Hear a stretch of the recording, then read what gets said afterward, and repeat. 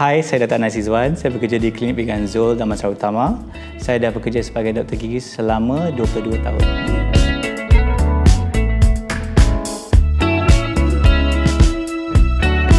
Okay, pendekap gigi atau braces adalah alat yang kita gunakan untuk menyusun semula gigi supaya di kedudukan yang lebih teratur untuk uh, pembersihan lagi senang, uh, jadi gigi pun lebih estetik dan lebih uh, penting uh, untuk fungsi pengunyahan. Jadi kita pun boleh mengunyah makanan dengan betul. Okey, faktor yang menyebabkan kita perlu pakai nombor satu ialah kehendak tuan dia lah. Kalau tuan tu tak nak pakai, memang takkan lah.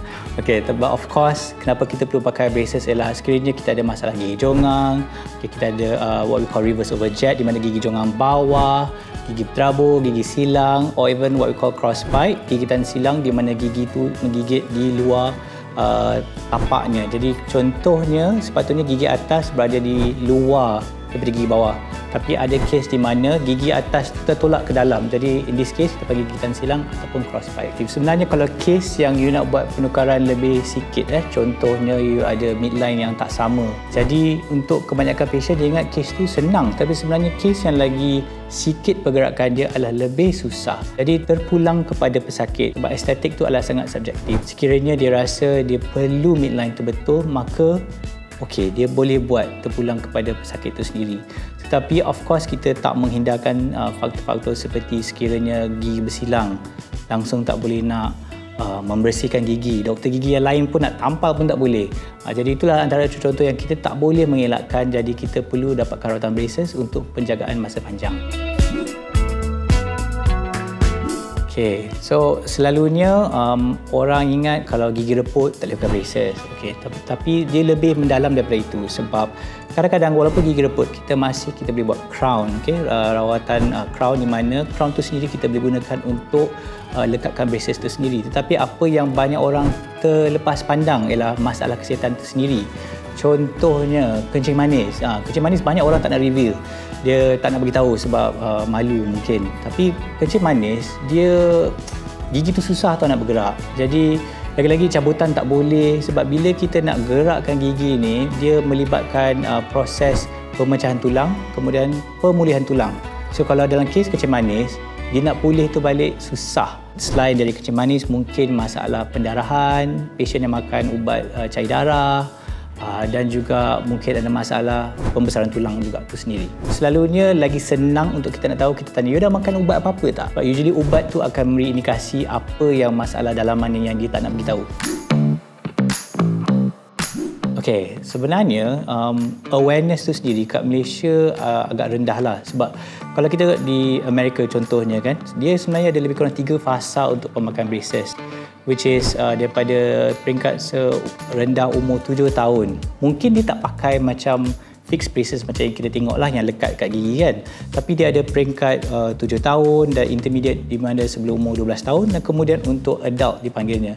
Jadi kenapa kita boleh uh, address awal sebab kita mungkin kita dapat mengubah uh, suai pembesaran rahang dia supaya bila dia dewasa gigi dan tulang tu sendiri di kedudukan yang betul untuk uh, dari segi yang faktor-faktor seperti saya cakap tadi lah uh, pengunyahan, estetik dan juga profil. So selalunya orang kata kalau dah tua tu tulang keras kan actually tak.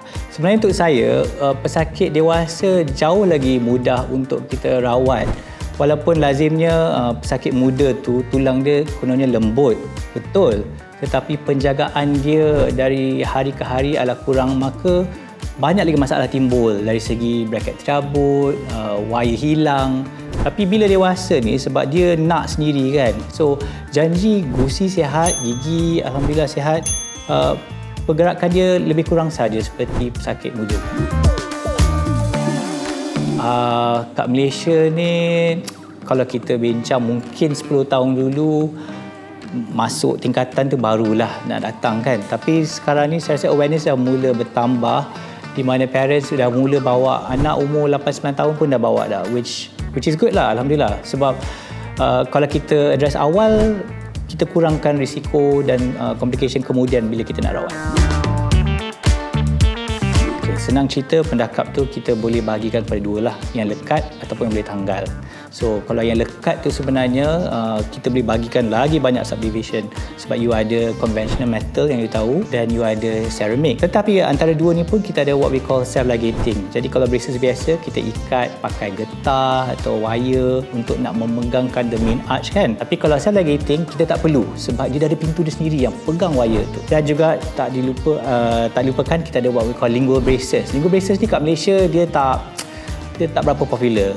Tapi kalau you fikir macam dekat Korea, kat Dubai dia banyak. Dia lah braces yang dekat belakang kat dalam tu. Pendapat saya lah kenapa kat Malaysia dah kurang popular sebab satu ialah cost. Memang mahal. Faktor utama kenapa orang pakai Lego braces sebab tak nak nampak kan. Tapi sekarang ni with dengan adanya clear liner yang retainer yang boleh tanggal tu kan. Ha, so itu adalah contoh di mana dengan adanya clear liner um, permintaan untuk lingual braces tu dah kurang. So sekarang ni kalau you nak buat perbandingan lebih kepada conventional ataupun dengan clear liner. Dua tu lah.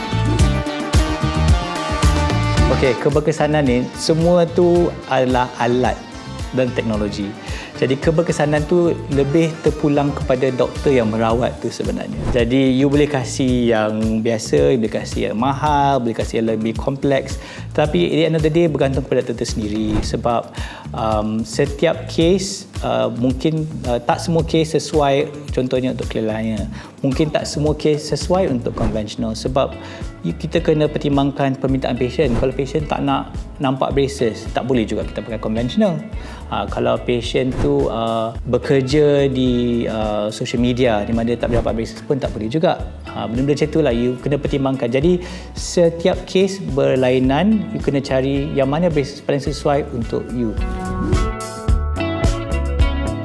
Think for now sekarang ni clear liner dah mungkin menjadi satu uh, rawatan yang uh, bertambah permintaan. Uh, sebab kos pun dah mula berkurang uh, sebab banyak manufacturer baru. Uh, tapi dari segi teknologi lain mungkin saya rasa penambahan mungkin uh, alat seperti mini screw. Uh, dulu mungkin 15 tahun dulu tak banyak seorang pakai tapi sekarang dah menjadi satu yang praktikal dan selalu dipakai sewaktu uh, rawatan braces. Jadi mini screw ni kita pakai dia macam ada skru kecil tau dia letak dekat gusi. Mungkin siapa yang tak biasa tu dia tak tahulah. Ha, tapi mini screw ni selalunya kita pakai untuk nak mengawal pergerakan gigi tu supaya kita boleh uh, dapat pergerakan yang kita nak. Itulah antara contoh mungkin saya rasa the last few years ada penambahan. Okay, cabut gigi tu sebenarnya kan untuk doktor gigi adalah satu keputusan yang sangat susah. Bila self ligating brackets diperkenalkan dalam market, semua orang sibuk nak buat rawatan tanpa cabutan. Tapi tak memikirkan macam mana rupa patient selepas tu. So dari segi ini, uh, kita kena pertimbangkan paras rupa patient.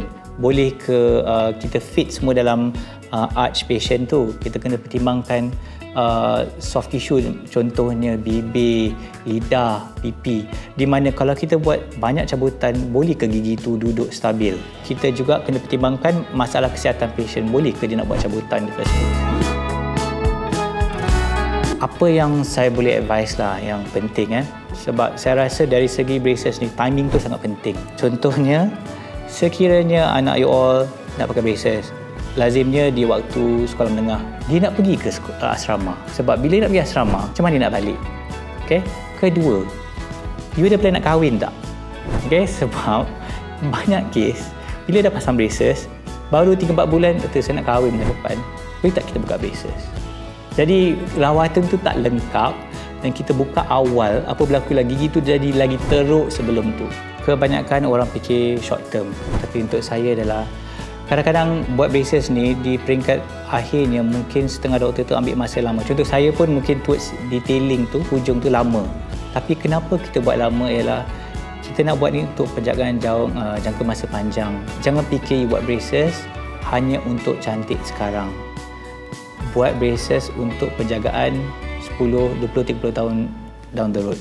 Itu sangat penting. So jangan rush untuk nak buka braces sekiranya doktor you rasa belum sesuai lagi.